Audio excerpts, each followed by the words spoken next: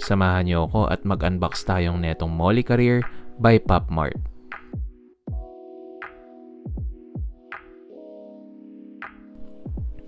So ang unang lumabas guys ay itong astronaut.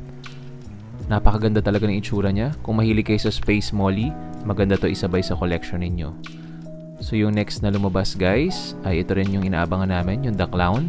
May dalawang series ito. Kaya mamaya makikita nyo kung ano yung itsura ng isa. So yung next na lumabas after nyan ay yung Astronaut.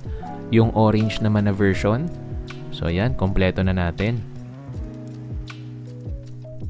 So yung next na lumabas ay yung Cook. Ito yung black na version niya. Meron pa yung isa, mamaya makikita natin. So ito na, yung next na lumabas ay yung The Clown ulit. Pero ito, maganda dito sa kanya yung buhok niya na naiba dun sa isang The Clown.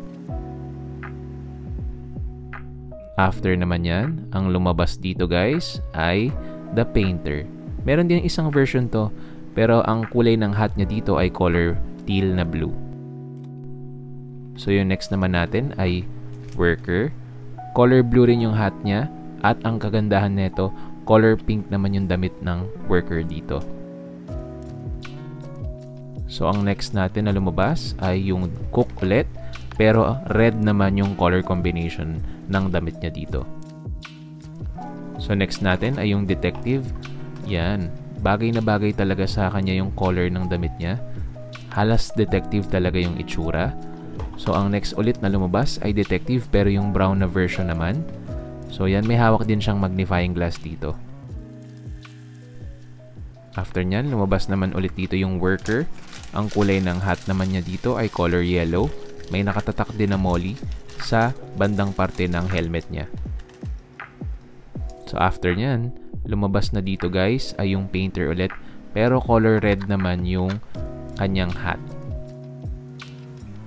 So guys, kung mahilig talaga kayo sa molly, make sure na makakuha kayo ng isang set netong molly career dahil marami siyang iba-ibang klase at iba-ibang kulay. Ang pinaka nagustuhan ko talaga sa series na to ay yung detective, yung painter, yung clown, at yung astronaut. So kung nagustuhan nyo yung unboxing video natin, huwag nyo kalimutan mag-like and subscribe at mag-share ng ating YouTube channel. Bye-bye! Luka.